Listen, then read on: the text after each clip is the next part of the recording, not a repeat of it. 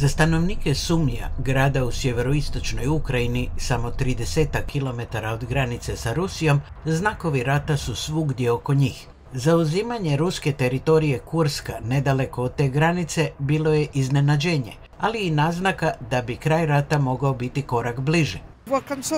Rat mora na koncu nekako završiti. Ako se puca samo u jednom pravcu, ako je jednostrano, onda nije rat. Neophodno je odgovoriti da bi ranije završilo.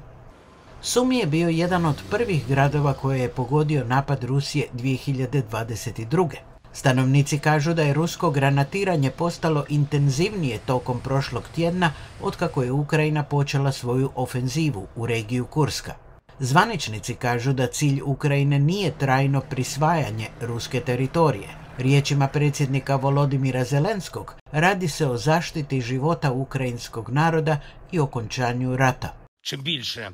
Što više bude uništena vojna prisutnost Rusije u graničnim područjima, to će bliže biti mir za našu zemlju i njena stvarna sigurnost. Sigurnosni analitičari smatraju da se radi o načinu na koji Ukrajina može odvući ruske trupe od linije fronte, a za uzetu teritoriju vide kao ulog za pregovore o mogućem miru. Kao što je rekao predsjednik Biden, to je strateška dilema za Rusiju i za Putina. Putin sada ima izbor što će učiniti. Zaštititi vlastitu teritoriju, regiju Kurska ili će nastaviti ofenzivne operacije u Donbasu. On kaže da Ukrajina također razotkriva slabosti Rusije. Svakome u svijetu pokazujemo da se ne treba bojati Rusa. Ukrajini treba dozvoliti da koristi dalekometne projektile protiv ruskih vojnih objekata na njihovoj teritoriji. U Ukrajini sve oči su uprte na iznenađujuća zbivanja u Kursku, kako daleko može Kijev doprijeti i koliku kontrolu će ostvariti.